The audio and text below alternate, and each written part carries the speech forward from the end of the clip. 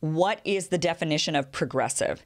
Because that term has changed and shifted. I don't think it was me that changed. I think it was actually the term progressive that changed. I don't think there's much difference anymore between the messaging of, say, Chuck Schumer and Nancy Pelosi and Biden and Kamala Harris about the Trump administration and kind of what the Bernie wing is. They sound very similar to me at this point. Because there is sort of this cancel culture that has invaded the left.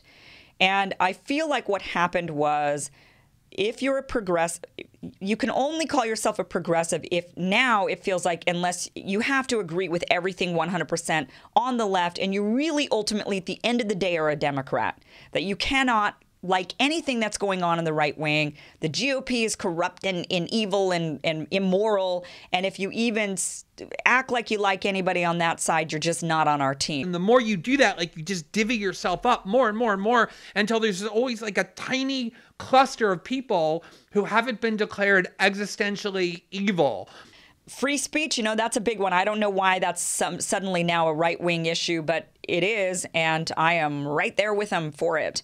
I'm all about free speech. I don't think ideas should be censored, no matter how abhorrent you think those ideas are.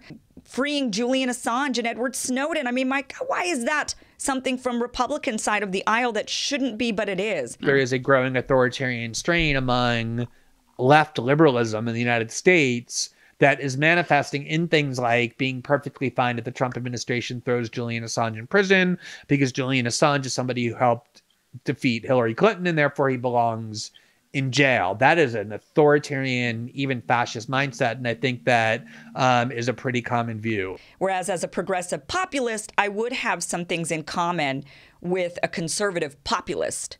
So yes, there are times that I take on, I guess, right wing talking points if those right wing talking points are conservative populist talking points. Then I am going to agree with them naturally more than Democrats, establishment Democrats. I don't agree with any of those people. If the divine master plan is perfection, maybe next to give a try, trusting myself ice cream assassin. Yeah, yeah, yeah.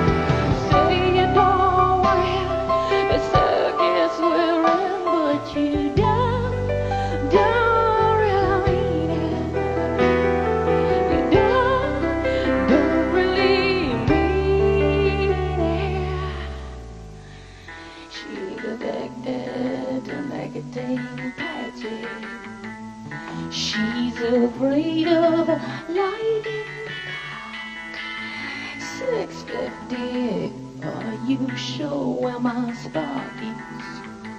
Here, here, here.